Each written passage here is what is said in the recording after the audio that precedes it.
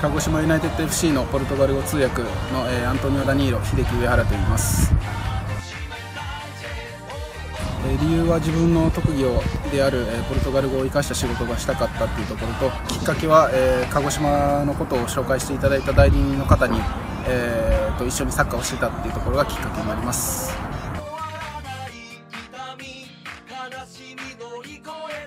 えー、クラブと鹿児島の皆さん、えー、そして、え、ブラジルとブラジル人選手の架け橋になれるように、え、日々頑張っています。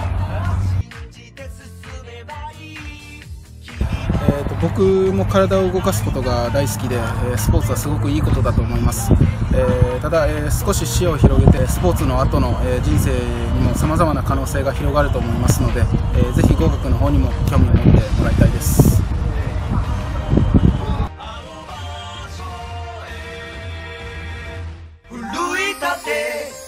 僕たちで鹿児島を一つに。